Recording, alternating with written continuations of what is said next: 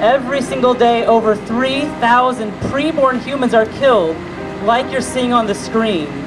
Over 3,000 humans who die who are just like you and me. They're human beings, they're just younger. We're not saying the foster care system is perfect, we're not saying the adoption system is perfect. But what we are saying is that the solution is not to dismember and decapitate innocent children. That does not help anyone.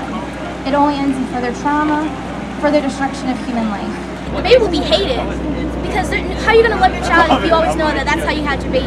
Your first child was born from a rape or incest. You can't love your baby the same way you would if you were consenting to making that child. Okay, so the, the, the position is women who perhaps conceive out of out of rape, incest, or just situations they don't want, they may not love that baby. So what do we do with the unlovable? That's the question. Do we kill them?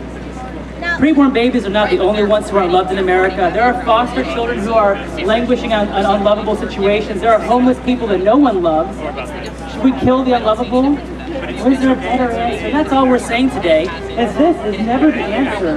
This baby may not have been loved, does that mean we should tear her apart? There are 13-year-old girls who don't love themselves, who look in the mirror every day and say, I hate myself, because no one likes me. Should we kill them?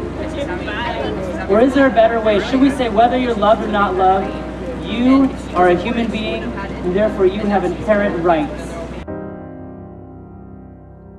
You're doing a really good job. Oh, thank you very much. I appreciate that. I Yeah, we need people like you.